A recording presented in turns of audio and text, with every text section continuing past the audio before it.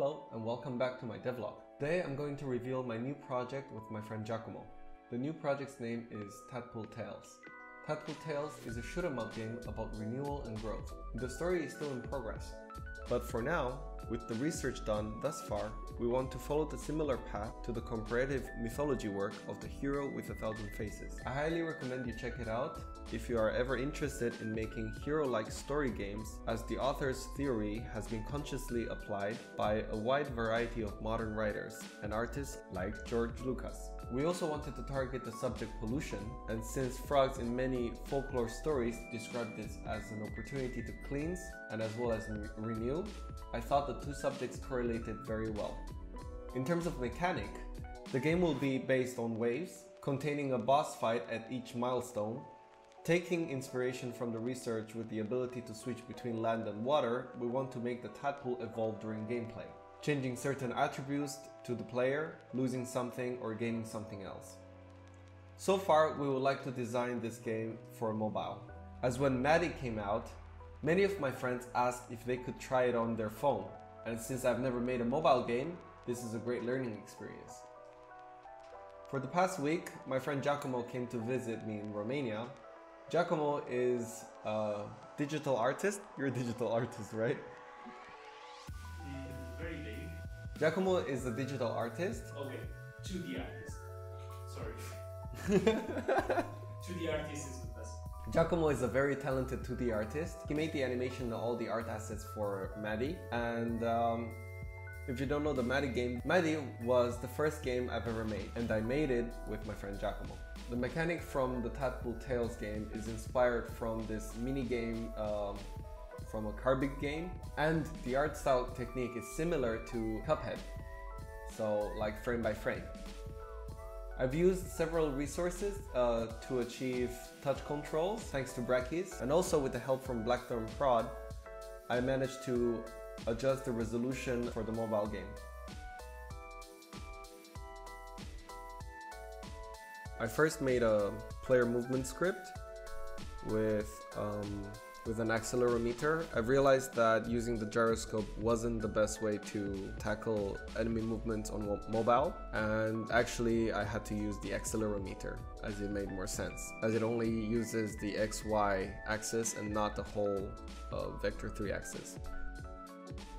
Then I made the enemy to be able to shoot bullets so creating a fire point to the position and then having a cooldown so as you tap down it will continuously shoot at a steady pace. I've also made some basic enemy behavior and um, we decided that we'll be splitting types of enemies in two. One in key enemy, as in the enemies that takes the wave counts and then also the types of enemies that just spawn around and they don't take part in the waves. The wave enemies have a more AI-like behavior whereas the extra enemies behave in non-AI non I don't even know how to describe it. Now with the session, this is the tough part. So as you can see here, I have um, random enemies and um, then I also have a wave check to check which wave uh, we're currently in.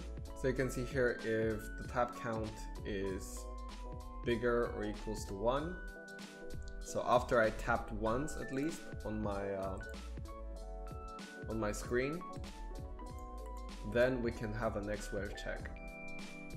If the enemy being killed is bigger or equals to the enemy spawn, and we check again, if the start transition time uh, is bigger or equals than the transition time, then we spawn the next wave.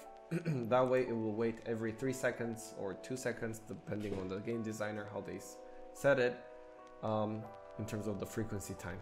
Spawn next wave. When they spawn the next wave, we increment the wave uh, number and then we set the enemies to zero. So we're basically resetting the whole transition. And then the spawn key enemies. When they spawn the key enemies, we create two variables about uh, amount and random enemies.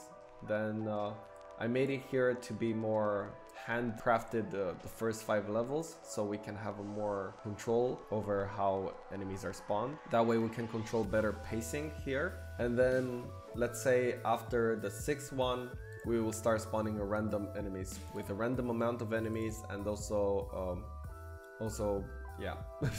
I don't know how to describe this. So and when you spawn each enemies, we'll have a we'll select a random position and then we'll also select a random enemy between the range from what we have and in the list and also from zero.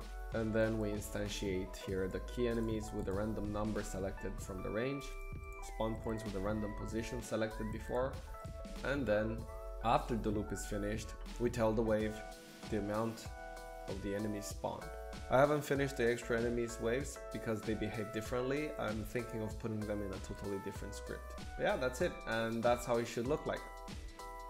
I have dropped all the resources that I use and that helped me throughout the way in the link down below. Please consider joining us on Discord if you are interested in this project or even just in game devs in general. We are a small group of people who love to see and share the progress. I also post daily improvements on Twitter and Instagram. And with that being said, thanks for tuning in and I'll see you next time.